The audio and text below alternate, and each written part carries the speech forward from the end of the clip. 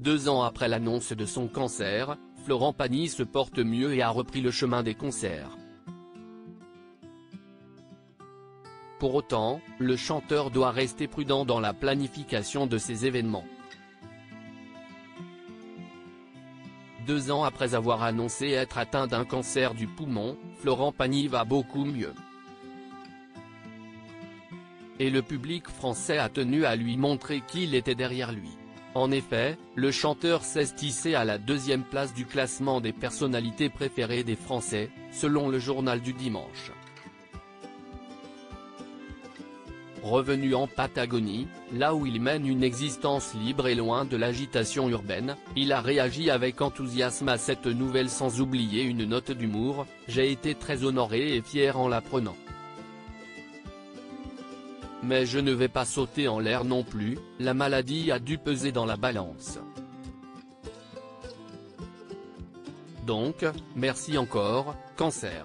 Je le constate par les nombreux témoignages que je reçois de malades, c'est comme si j'avais endossé le rôle d'un voyant, même si je ne me lève pas le matin en cherchant à me raconter par la maladie. A-t-il confié dans les colonnes du même journal. Un planning plus difficile à prévoir en 2023, Florent Pagny retrouvait le chemin des concerts. Un retour musical vital pour l'artiste, la maladie ne m'a pas empêché de chanter, bien au contraire. Ma voix est même devenue plus claire. Pour autant, Florent Pagny le sait, il ne peut plus aborder sa carrière musicale comme avant la maladie. Le cancer a changé beaucoup de choses pour lui, notamment au niveau de la planification des événements qui rythment désormais sa carrière. Florent Pagny doit s'y résoudre, il ne peut pas voir au-delà de trois mois sans prendre le risque de devoir annuler des engagements. Tous les trois mois, tout est remis en question. Tous les deux mois, même, puisque je dois aller faire le 15 janvier un nouveau contrôle. Quand bien même je me suis habitué à aller mieux, un simple contrôle peut d'un coup rebattre les cartes.